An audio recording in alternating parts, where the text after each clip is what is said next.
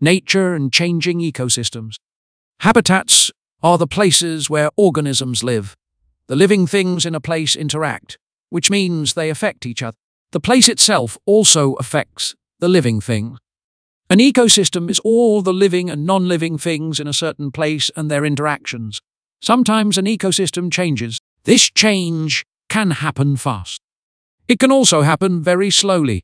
When a change happens, some living things may have trouble getting what they need. Some organisms will survive the change well. Some will have to work harder to meet their needs. Others will leave or even die. Natural events can disrupt ecosystems. Natural events cause changes in ecosystems. Events that cause damage are called natural hazards. These changes can happen suddenly. Hurricanes, tornadoes, earthquakes, fires, and floods are types of sudden natural hazards.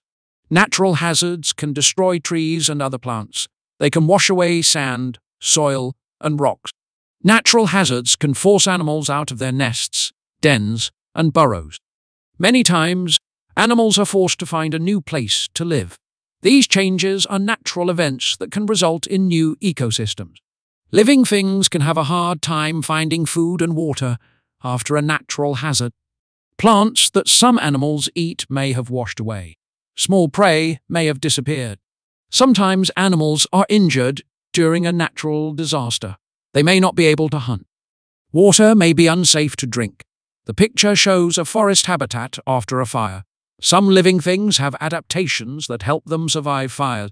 Many plants that burn may take a long time to grow back. Animals that live in trees in the forest have to move. Animals that eat the plants have to find other food. Invasive species can disrupt ecosystems.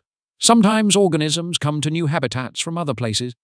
An invasive species is a type of organism that causes harm in a place where it does not normally live.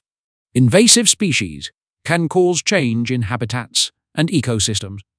These living things may grow and reproduce at a fast rate. Many do not have predators. They can be very hard to remove from a habitat. Invasive species cause many problems.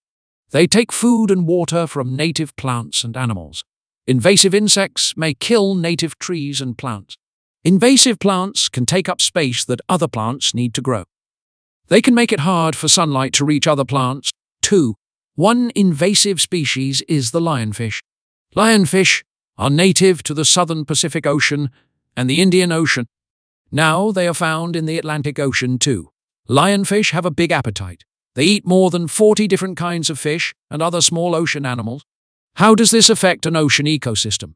Invasive lionfish eat so much that there is not enough food for native ocean animals. They also eat parrotfish, which are helpful to coral reef ecosystems. Parrotfish eat organisms that can harm coral reefs. When lionfish eat the parrotfish, the reef ecosystem may be harmed. Overpopulation can disrupt ecosystems. Sometimes too many organisms in one ecosystem can cause the entire ecosystem to change. This is called overpopulation. When there are too many of a certain type of animal, the animals might consume all the food in their habitat. Then some of the population can starve. A red tide is another example of overpopulation. In saltwater habitats, the algae sometimes reproduce too quickly.